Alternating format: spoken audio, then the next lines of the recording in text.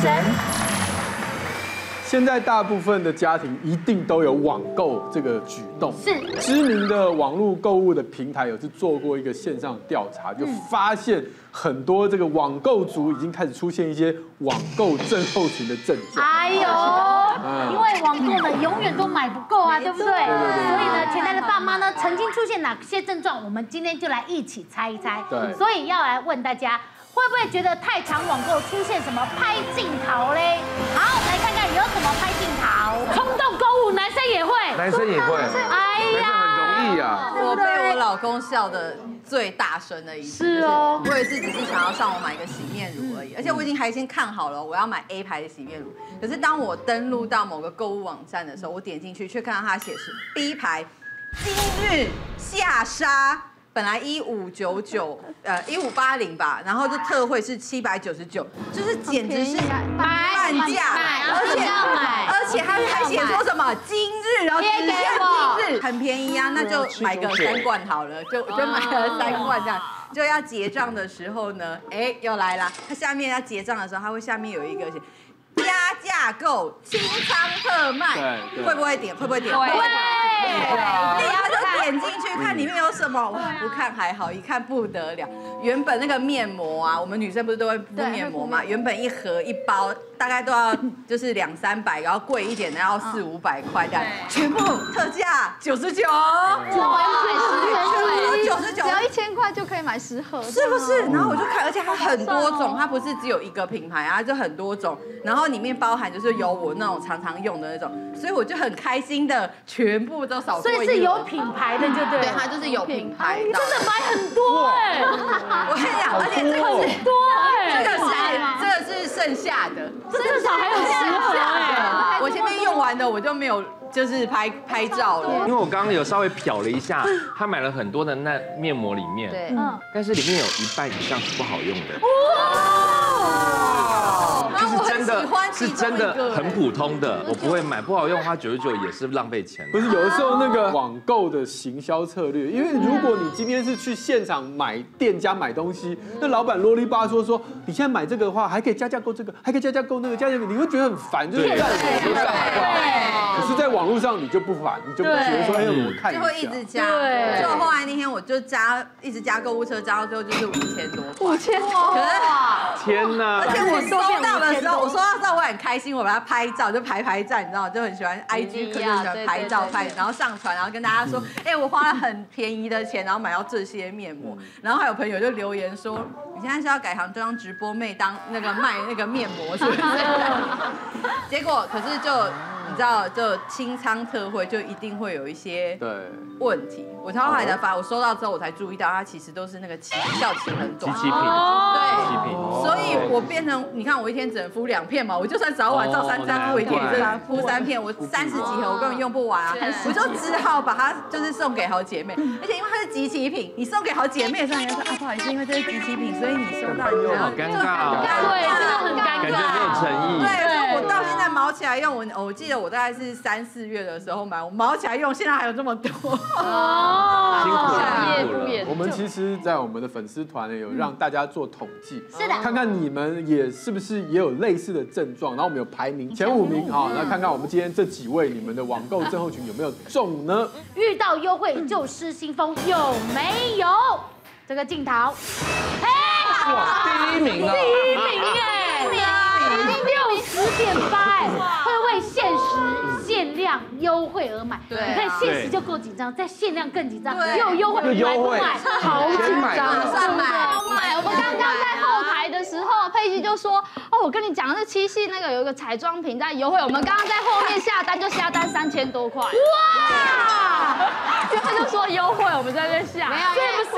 对，我因为我本人就是一个很会劝败的高手。我觉得先给大家一个基本的观念，其实呃，我们用正常的、正常的所谓商业模式来看，呃，你在实体通路跟网络通路如果一样的东西，如果这个品牌或厂商它本来就有实体跟网络的这个对。两边都有在经营的话，平均啦，大概就是八折到顶了，平网均。网购是八折，，对，顶多，而且它一定是有一些门槛，比如说像可能就是集齐的问题，它可能那个期限是比较短的，又或者是说呢，呃，可能它在网络上它的操作模式是会用很多组合来吸引大家。当然我要讲就是说，每个人都会喜欢网络购物，你碰到那些吸引人的组合那是难免的。可是你要记得一件事情哦，有些时候就会像刚刚这个乔乔妈说的。因为你本来想要买的组合只有 A，可是因为它有了 B 组合、C 组合、D 组合，如果又碰到有比想要比价比较最便宜的，比来比去比成仇之后，全都带回家了。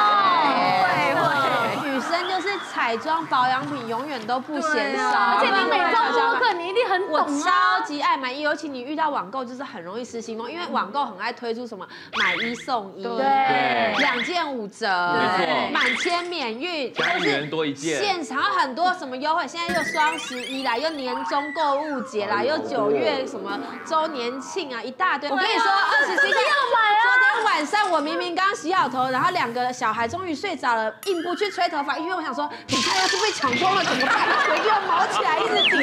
我想说，不然等一下就没货了，就是会觉得很想要买啊。可是我觉得我这种，因为我都会觉得我总有一天会用到，它就是会有可以备用的时候。然后唇膏就是只有一个嘴巴，可是要有几百支唇膏才会觉得我就是一个很棒。然后但是呢，我常常就是因为我这样子买。我家里有很多真的已经过期，连包装连开都没有开的，比如说面膜啊，什么眼唇卸妆，就是一大堆。所以呢，我现在呢就累积了一个更好的习惯，就是有朋友或者姐妹来我家，就说：“哎，这个我跟你讲，上次超便宜的，这送你，这送你。”就因为怕用不完，所以你要清家里的库存，然后又怕什么，就会想说：“哎，这些其实送人也很 OK 啊。”然后觉得说那么便宜，你就是会看到这个东西，你不买会觉得很。很难过，就是会很难过，就觉得要先买下来，有买就是赚，有买就是赚，对，勤俭持家，没错，买越多赚越多。因为我跟你讲，你们去菜市场买菜，那青菜一把二十五，三把五十，你会买两把吗？三把，就是啊，对不对？就是这样的一个道理呀，真是的，对不对？不过还是要提醒大家，刚刚特别提到的，因为有很多的组合。很多人其实根本不是自己要用的，你很多东西里面，它的一二三里面其实只有一是你要用的，二跟三都不是你要用的，所以不如这样子，现在大家基基本上都有自媒体，都有自己的脸书啦、IG 啊，或者是所有的交友软体等等社群软体，我觉得你不如就哪一天先自己先帮自己打预防针，先开诚布公发一篇说，我很喜欢买东西，尤其会买组合，但常常会买到用不到的东西。如果我买到这东西，我会 PO 上来跟大家一起 share，或者是大家一起合购。你先讲嘛，大家会跟着你 follow 你，就自己莫名也变成一个开开团主，我觉得也是 OK 的，不错啊。这个听起来比较合理。再来还有一个就是我刚刚讲的，就算你。想要尝鲜，你就是先买一样就好。就算它是三件五折，你都买一件就好。哦，不然你三件回来，如果都不适用怎么办？对，你还真不知道堆给谁嘞。对，而且你堆给人家的时候，明明不好用，你要怎么样告诉他？我觉得蛮好用的，你这个 你买嘛，送你嘛，对不对？然后到最后说，哎，我跟你说那个配机啊，跟巧巧妈一样，巧巧妈都送人家现期那个机器货，配机都送人家不好用。而且重点来喽，妈妈们。像这种你买回来团购的，千万不能送给小姑或婆婆，知道吗？所以不论男生跟女生，其实遇到网络购物都非常的恐怖。对，男生也会啊，尤其是因为像你们都是刚刚是彩妆品嘛，对不对？我是在外送上面的外送网络购物，因为现在外送真的太方便了。是女孩吗？还是？呃，那个是吃的啦，吃的啦，喝了一些饮料。哎，一下冲动哎。对啊，外外送女孩的话是最近还在涉猎。不是啊，我这因为我现在搬那个地方是那个附近没什么地方可以吃东西，那我又懒得出门，那我手机就很方便了嘛。嗯。好，那我就发现一件事情，是我有时候想吃东西的时候，我就上像我前天就吃了一个泰国料理，然后看我说哎有那个泰式炒饭，我就点一份。然后泰国菜一定要吃打抛猪肉嘛，对，然后那就点一份好了。然后就看那个少少的月亮虾饼，我好像也吃得完，那就点个月亮虾饼喽。那那要不要喝个汤？要冬阴功嘛？啊，喝个汤，然后泰式奶茶，要点一下。哎，不对不对，还要么么喳喳啊？么么喳喳。我就先看说不对不对，我没有吃菜啊，我没有清，我没有哦要健康那就虾酱空心菜。嗯，然后回来现在一大堆，我根本就吃不完，因为我只是想吃而已。对，因为手机上面那个菜很很小。然后你在点的时候就饿饿就会点很多，它就很小一个嘛，很快就这样点一下点一下，而且一一件它就可以送来了。好，就点一大堆，我都吃不完。然后我看哇，那一餐要六快六百块，哇，怎么办呢？又吃不完。然后我就在回想说，以前我住在以前的地方的时候，我要吃饭，我就下楼楼下什么干面店呐、卤肉饭店，我再怎么叫紧绷就是一百多块，对我北这干嘛要一百多块？所以我很容易犯这个错，冲动下买了很多东西。所以各位朋友真的训练自己的肠胃大一点，就是可以 吃多一点，就不会比较想真的是吃不完好不好？那我们来看看大哥的冲动购物到底有没有？有吧？我有第二名了。第二名知不觉买一堆，有时候就是不知，真的是不知不觉，被鬼牵走哎，这个。点着点着就怎么那么多？对啊，很可怕。所以前面一二名都被占走了。不知不觉买一堆，我蛮有感的，因为说老实话。我家就人多嘛，对不对？然后你知道我家小孩多，我就会一直发了很多亲子部落客。然后像他们这几位啊，在座这几位都害死我了。他每一次一开团，然后就马上动态跳到我面前，然后我点进去看，哇，他们介绍的东西真的很不错哎。然后我就开始买买买，像我前阵子我买了一套，跟团买了一套大什么。百科全书五十本要一万四，然后我就多少钱？一万四本。你知道 Google 不用花什么钱吗？对啊，有什么问题就 Google 不就好了吗？小小小孩要，可是小孩要看，小孩看，而且我我我那时候有有转念，我就想说，我五个小孩一起看这些划下来，一个小孩如果买 一万是不划算，对不对？那不是你们小时候看的那种百科全书，哦，那是漫画的，真的，真的。因为我想说小朋友看文字不喜欢啊，然后这种东西图案他们一定会喜欢，那他们应该可以看更久啊，让小孩子安安静静坐在那边，值得。啊，哦，有没有？略觉会画值得的？然后前。他们就有部落客，亲子部落客就说啊，有那儿童相机，不要让小朋友用手机，有没有？有的时候小朋友拿我们手机是为了要去拍照，他就说，那就是他们有团购那种儿童相机。你也买太多了啦，你真的太夸张了你。首先便宜耶，为什么啊？儿童相机，可是它好可爱哦，好像那个肉粽，端午节 我原本只想要买给三四五宝，可是因为我在下订单的时候，我想让你当妈哦。哇塞，五宝妈是月入几百万，哎，它每一个都不一样哎。对，因为我原本只想买给三四五宝，可是大二宝看到我在下单的时候，他们就说为什么只有弟弟妹妹有？对，所以我就觉得哇，糟糕，就是他们有不公平的感觉，所以我又多下了两单。他反应速度蛮快的，对啊，虽然话话说买了很很不错，可爱哦。然后最近夏天不是又很热嘛，我就想到说，刚好又有一个团妈，就是 J 妈啦，她开了一个 点名，开了一个电风扇的团购。这节目害了你哦，对对，花了很多钱，交了交了坏朋友。你真的买很多哎，你到底有多热啦？不是，为什么那么热啊？不是因为小朋友，小朋友他们教室会热啊，然后我就想说这个这这很好用，这拍戏的时候，这拍戏外景啊，拍戏，而且它撑的时间很久，很久，家用钱还有零用钱都砸在小孩的，那小孩你也生那么多，你三胞胎哎，所以你没有看大家都要比，我比较没有买这一类的东西，冲动谁都买什么？家我们除了小孩子生的多，我家的人口也多，所以我有一阵子我就很喜欢买那个直播的那个水彩，哦，对，那个水彩。耶，加一加一。我那时候一开始在看的时候，它每次分量都很多，我就想说这神经病，到底谁会买那个分量那么多？所以我就看看看到有一天他会买，他家人很常对。结果有一天老板就说，来今天开一个小资组合，两盘牛肉，两盘猪肉，两两只鸡腿跟两两片鳕。我想，哎，这个我适合哎，我想 OK OK，那我就想说好，那我就先。那我就先标这个好了，就先买了。买了之后才知道这是一个无底洞的开始。为什么？因为你买了嘛，要付运费啊。那因为冷冻食品运费很贵，要两百五。对，所以你就想说，我既然都买了，我当然要哎合啊。对，是要给它凑到满啊。所以我就是，他就说哦，可能五千或者是八千的运费。我想说好，那我再看。就就在那边等 等他开始的时候，我就开始疯狂洗版加一加，因为那个直播会吃字，对。哦，他系统他们到你就没有买到了，对。所以我就在那边加一加一加，一直加加到他系统有你的名字为止。好了，就又买到了，很开心，好像差不多了，我已经免运了。就哎，那个箱子很大，你知道吗？还可以，我还可以再买啊！我要把它装满啊！都已经免运了，你知道把它装满。装你装一只乌龟在里面装，我还问那个客服说：“哎，我的箱子满了吗？”他说：“嗯，蔡小姐可以了，你的已经满了。”我说：“OK，那帮我结账。”结账的时候已经破万了。哇塞！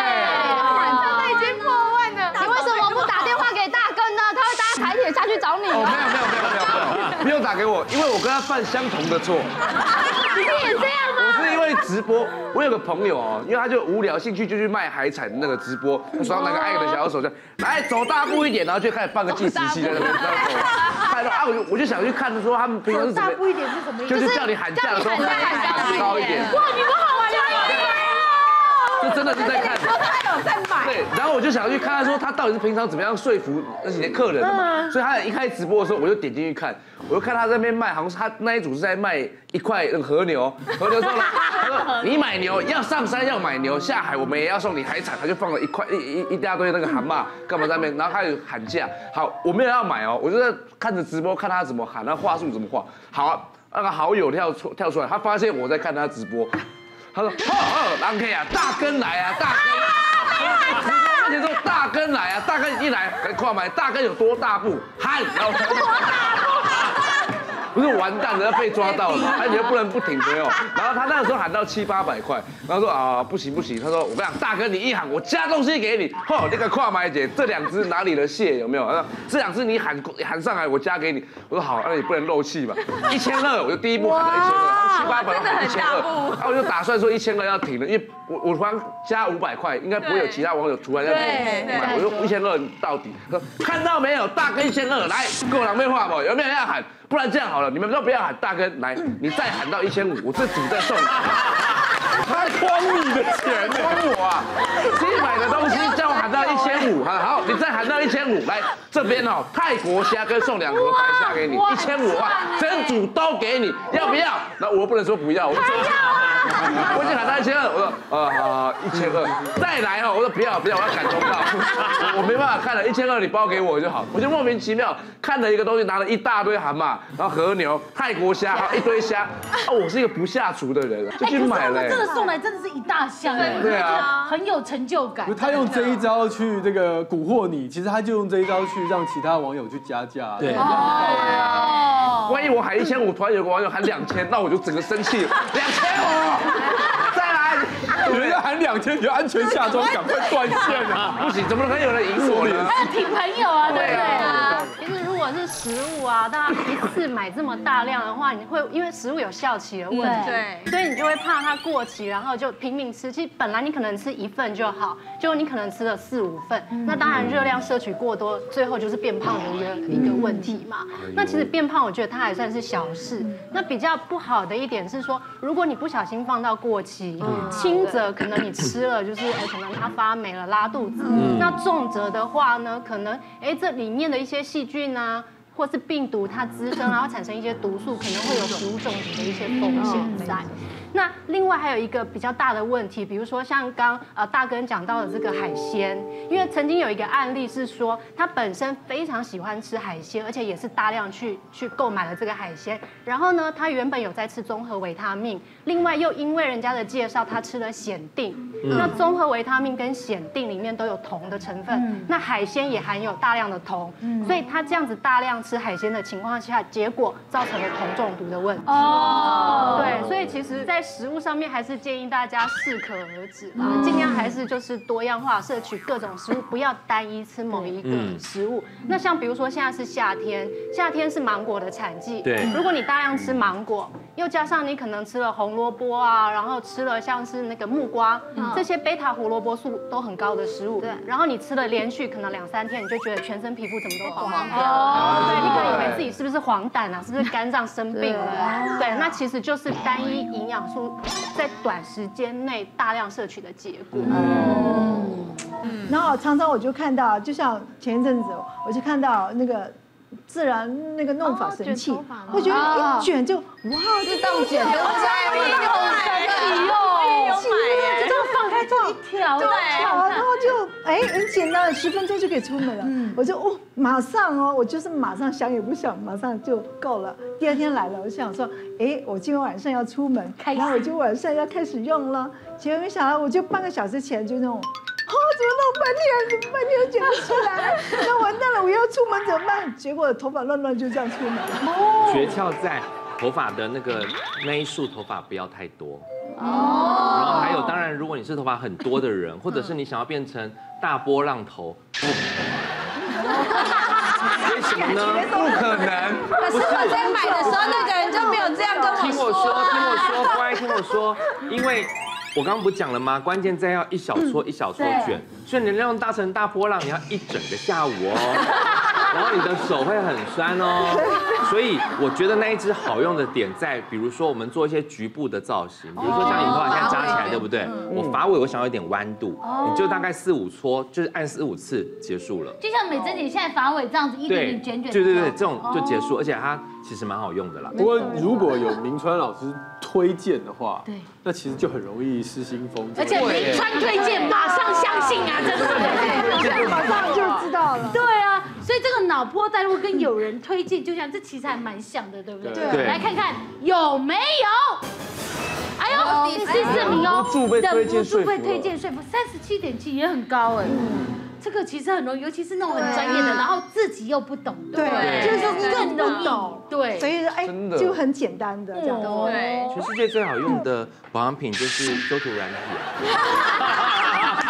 开玩笑啦，开玩笑。他今天突然让我们很冷静。没有，就是因为这些修图软体，所以要特别提醒所有的观众朋友，当你在看这些美妆的，呃，不管是布洛克啦，或者是。呃，广告啊，你真都要注意一件事，因为照片真的很好修，所以有些时候你看那个呃很多的 IG 网红，你看发的照片跟影片，真的就是有差。哦，但是有些人会觉得那个差别你可以被接受，是因为我们都已经被接受照片修图是 OK 的，嗯，我们都被接受了，或者是我们都被接受用那些美肌软体拍出来好像比较漂亮，都接受了，所以相对来讲，我觉得如果你要看那些呃就是美妆部落客分享东西，尽量以影片为主，因为影片比较难作假，比较难。不能说不能说完全不会，但比较难。另外一个，当然我们做功课的时候，你一定好评、负评都要看，嗯一定各有道理嘛。我们所有的商品，你有有人说好用，有人说不好用，一定都有道理。可是你要只要记得，不是那种无谓的谩骂就好。那有些时候，像我自己，我会先看负评。哦，我会先看负评，是因为我要知道负评，先找到它的症状是什么，它的问题是什么。你要先办案嘛，先办出它的。弱点是什么？相对你再来看它的正品的时候，你也可以看出这个正品是真的正品还是买的正品。哦，对，嗯，便宜是做妈妈最重要的。对，因为像我们家是三胞胎嘛，所以所有的东西都是要乘以三，乘以三。像我们家的尿布一定是乘以三，而且我们家三胞胎就是又有男又有女。对，那男生跟女生包尿布又不一样，所以你还要问看看他有没有试用包可以用，要不然可能男生适合，女生不适合，或者是有一些什么红屁屁之类的问题，所以我就这样比比比比，比到最后其实真的很累，比到最后就觉得说，哦，那真的是不知道是浪费时间还是什么，比得很累，然后寄来的时候发现说，其实价钱也没有差很多。哇塞，你真的是，对我就因为我量。我就直接打电话给厂商，你量太多了吧？我说麻烦帮我送十箱尿布来。开开育幼院就是，真的很好，开幼院对啊。哎，我一次叫都是十箱十箱叫，大概剩下库存剩下两三箱的时候，我就再补十箱来。对啊，因为价钱其实还好啦，跟。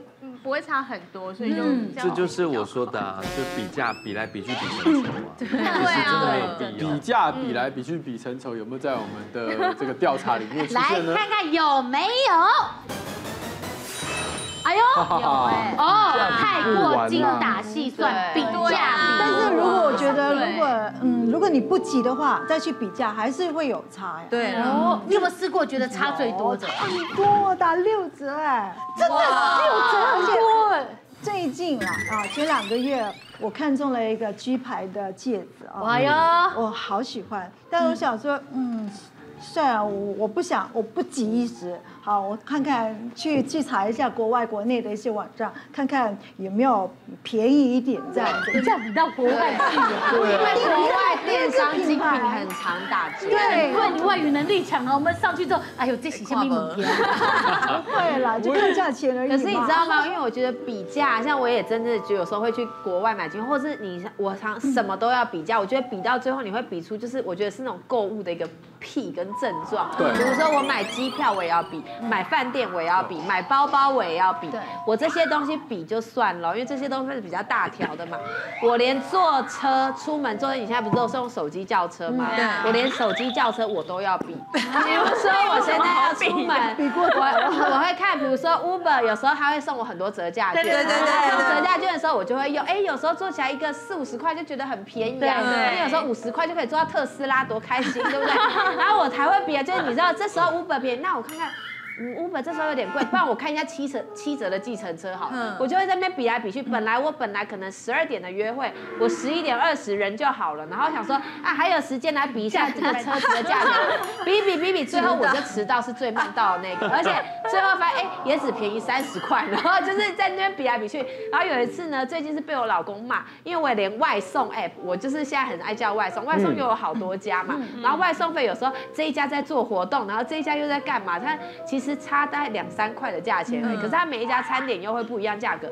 你知道有时候一比，然后那个整个人的那个兴趣跟健讨就压起来，就会觉得说，哎，同样一家餐厅，我来比一下，哎，他的打抛猪八十五，哎，他才卖七十，哎，怎么餐点价格同一家餐点价格不一样？然后外送还要自己那边加来加去，弄来弄去，然后加到最后，我女儿俩哭大哭，因为她肚子太饿。对啊，然后我就说，你到底为什么要这么浪费时间？你买什么都要比成这个样子，你你浪费的时间。比那个还要那个，我想说好，最后不要不要，妈妈现在立刻买买买，很快就送来了。可是你知道吗？最后晚上的时候，你那个箭头又给他给他说，不然我来仔细看一下，我今天到底有没有买便宜好了。嗯。哦，我买便宜的，便宜的五块，但是我花了很多时间，而且最后女儿还饿到在那边叫。如果是乐趣就没办法，可是很多人以省钱的心态来讲，我就我我就会觉得很奇怪，就像。我前次搬家嘛，对不对？搬到新房，那我缺台电视，对，反正我就去买那台电视，我网购。那我同时间呢，我的一个朋友他也要买电视，然后他就说叫我陪他去那些三 C 的地方看。现场看，我说我不要啊，我现在都签了，我网络上看了，我就直接订了嘛。我看订的时候送来之后，那工程师还会直接过来就帮我装好，对，直接就来装，不要。然后他说不要，你那个很贵。我前几天去插插插坤就看多少钱，干嘛干嘛比较便宜，而且干嘛干嘛干嘛。我说可是我已经订了。他说好，啊你订了就订了吗？他就去忙他了，他就花了两天时间找到一个比我再便宜两千多块，但是差不多的电视，然后去买了。过来之后呢，我的是订完之后装好了，两千贵两千多块，可是他送来的时候就直接装好了。他大概在隔了我大概三四天之后，因为他说什么工程师要排时间，所以他买完之后呢，要大概在买后售后的三天之后。他才有办法来装好，装完之后呢，他又说，可是他又很得意的跟我说，他赚到我两千块。我说我赚到你三天，而 且这三天不止两千块，你这三天是不是没电视看？不好意思，我这三天都有电视看，我就不会浪费 M O D 的钱。对我而言，与其省钱，你不如花时间去赚钱。你去花了多一天的时间去那边多比了，花了两个小时多看了电视，那我花了这两个小时来上一次妈妈好神的通告。你讲的很好哎。我跟我以前的女朋友去去逛夜市，她要去买衣服。他要都同款的洋装或干嘛？这件卖五九九，他说我们这去下一天看，有没有？好，给你看到四九九了，一定还有更深。好，再给你深一点，你看到三百九十九了，好不好？两百块钱了，好不好？差两百块钱，花了一个半小时、两个小时，你终于差了两百块钱。好，你买个两件，好，那你去 seven 打工的时薪都超过你这两个省下来的钱，你懂吗？你就浪费了这些时间，时间就是金钱，我宁愿花这些时间赶快买完五九九回家睡觉，早点起来去工作，多赚这些钱总总比你去。为了一些没有必要的小事情去省这些钱，还来做。哦，这样讲也对，太有哲理了。哇塞，你说服我们很想买东西。对速度要快，但是直接买。可是我前阵子就加入了一个彩妆师的跟那个造型师的二手社团，那里面他就常常会有那，因为彩妆师、造型师他们不是都会买很多彩妆吗？那有很多东西是全新的，或者是他可能只用个一两次，他就把它出清出来。真的很多东西耶。对，而且全部都是名牌的哦。就是什么很厉害的、很贵、很贵，你啊，而且都是很专业的东西。对，然后就很好买，所以我晚上的时候呢，没有没有事情做，我就会划一下看有没有好看的东西可以划，可以看。就有一次，我就看到有一个彩妆师，他就分享说，他之呃，他就说他之前在呃，他因为他之前在美国工作，所以他就买了一些很多国外的限量彩妆，然后呢，他就就是要出清一个这个这个 B 牌的，然后这个 B 牌呢，它的它的那个腮，它的那个修容是很有名，很有名，很有名，很经典的可以把我修成容。瓜子脸吗？对，而且它这个在台湾就是它一个单个，它就要一五五零，单个就一单五个就要一五五零，然后它这一盒有三个。然后他就是起标价一千五，我觉得好开心哦！哎，他一个月，而且他说他用不到超过五千次多啦而且只有国外才有，那时候台湾是没有。因为这个规格是这个三个一组的，台湾没有这个规格，对只有周年庆才会有。对，然后我那时候就想说，哎，台湾买不到，而且他原本一个一五五零，然后三个的话是不是要五千块？他用一千五就起标，对就很开心就标了。结果最后就我就用了两千多块钱就标到了，我好开心哦，超开心的。然后约莫半个月之后就周年庆了，哎呀，然后台湾就开始卖了，然后全新的那个盒子还是金的，然后卖两千三。真的还假的？原来没有白吃的午餐啊！然后我就我发现颜色还蛮就很，可是它就是很漂亮啊，可是哦，它颜色好好看哦，很美很美，它就很经典。可是你看心灵姐，你觉得它看起来新吗？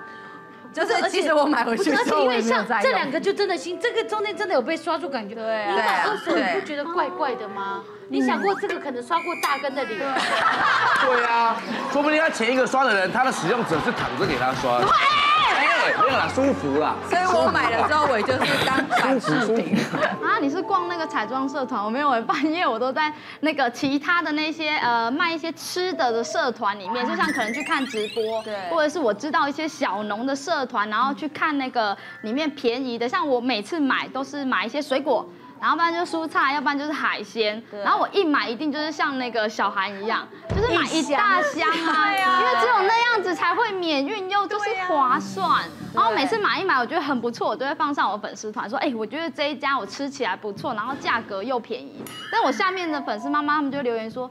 可是那是你，不是对他们会喊加一，他说那是你家人多，你订一大箱很便宜。可是我们去订只能我家只有三个人、四个人，我们订很少，然后要付那运费，其实根本就不划算。他们就说吴宝妈，你们帮我想想办法。所以最后搞成就是变成我自己开团，开团就是卖菜啊、卖海鲜啊、卖鸡蛋啊。我就是我邻居或者是我住同地区的粉丝朋友，他们就会哎，吴宝妈就私讯说吴宝妈，你最近有要开始买鸡蛋了吗？那我我要团购五盒什么什么的。然后最后我就是蛋来到我家，然后他们就跟我约时间面交一些鸡蛋或是菜。所以整个一个是中盘商的概念。开团，我买到变开团。不过呢，这个买到开团，我们来看看有没有这个镜头。好吧，哎，没有哎，为什么？因为太少人有这个状况对呀因为都开团，大家会觉得麻烦。那需要一个门槛那。我们来看看还有哪些镜头。第五名是什么？那第五名比较好奇是谁？第五名没有我在。上面有谁？我们来看第五名是拉拉人分享。哦，就是不开团，但只是说分享。我觉得在网络上购物啊，是是一个你跟你的情绪有关。对，就是如果说你发现你常常会在网络上大失血，我劝你先好好整理一下你的心思，是不是最近压力太大，对不对？对不对？压力大的最容易每天压力都很大，所以，与其本末倒置在网络上失血，但是不如好好的跟你的另外一半或者跟专家朋友们聊聊，说，哎，我最近常常会脑波很弱，哎，我压力在哪里？我们把它厘清一下。那这样的话，你就可以恢复理智，然后理智的跟我们的明川老师一样，是打给少来，我帮你明川老洗脸师，。我觉得明川老师上面五点应该都有。看起来很理智啊。过来人。总之呢，非常谢谢大家的分享，谢谢大家一起促进台湾的经济奇迹，好不好？谢谢，记得到猫猫小总站动动互动，大家拜拜，赶快去买哦。黄医师有粉丝提问呢，你来为他解答。就是呢，粉丝问说，小朋友已经一岁一个月了，可是不管是吃软饭呢，还是吃米饭，都直接用含，然后就吞了，根本就不咀嚼，怎么办？对，其实这个状况是非常普遍的。对，因为呃，如果是用奶瓶喝奶的小孩，他的舌头的运动，把食物往后送的这个运动能力是比较差的，所以亲喂母奶的嘛，宝宝反而比较少这个状况。但是平喂的宝宝比较会没有训练过，没有关系啦。这个过程当中，渐渐他的牙龈越来越扎实，而且他的牙齿会长出来，他就知道哦，原来这个咀嚼是有背后的意义的。不然的话，小孩牙齿等到长满，大概也要很大一段时间。所以这过程当中吞没有关系。嗯，那。有些网友就跟我讲说，可是他这样吃东西，常常就是吃什么就拉什么。哦哦，那你你说这个咀嚼是假动作，他果然就吞下去了啊，然后就拉出来，就就拉出来了哈，甚至他便便的次数增加，到底跟吃这个固体食物有没有关系？答案是有可能。我的确有碰到很多开始吃副食品的宝宝，他便便次数就会变多。那不见得是坏事。我们通常会观察一下你的孩子到底屁股红不红，还有一天拉几次。如果一天拉超过三次，屁股又很红，那表示真的你的食物要调整一下，可能你某种食物量太大太多，你还是消化不良。但如果说他这个拉出来一天就一次，屁股也没有特别的红，那我觉得就让他的肠胃道去适应一下，训练一下，你不需要去调整食物的内容。那也有妈妈问说，那既然这样，他这个都是用吞的，我是不是要把它剪得碎一点这样子，或者是赶紧把它打成泥啊？哈，那我是觉得不要弄得太软，你可以稍微剪碎一点，或者稍微煮软一点，但是把它弄成都是糊状的，那你的孩子就真的一路吞下去喽，因为他都永远没有去咀嚼、去感受那个食物嚼劲的机会，所以适可而止啦。每个家庭的孩子状况不一样，我也没有标准答案，就稍微剪几段或稍微压一压，这样子是可以的，但不要弄得太软。嗯。了解，别忘了订阅妈妈好神 YouTube 频道，还有按下铃铛，让你及时收看最新影片哦。想要看更多精彩内容，欢迎点选旁边这些影片哦。